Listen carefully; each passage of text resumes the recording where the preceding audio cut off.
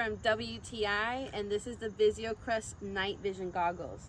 These are binoculars and perfect for long distance scenarios. They also work during the day, even though they say night vision. Now, they have a really nice hard protective case. They include.